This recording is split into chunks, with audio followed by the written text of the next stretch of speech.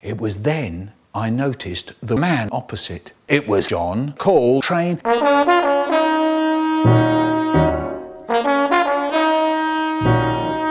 Everyone in the cafe looked round. What's that? Oh, yeah, yeah. That's John Call Coltrane. Oh, yeah, yeah. That's John Call Coltrane. All right. Anyway, that's when John starts jamming away like mad. His eyes pop out. He blows, he puffs. Fantastic. Wonderful. And there's Michael. Dave, he's doing the same.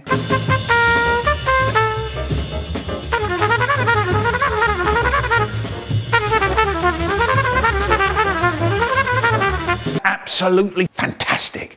Mm.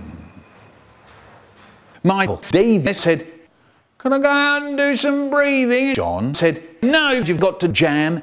Anyway, Michael figured out what you had to do was snatch a quick breath in the cheeks. Anyway, Michael and John are jamming away like mad.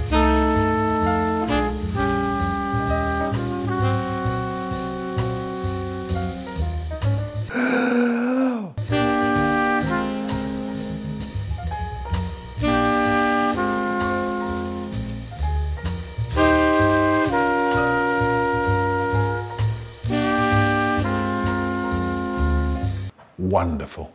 And then we went home.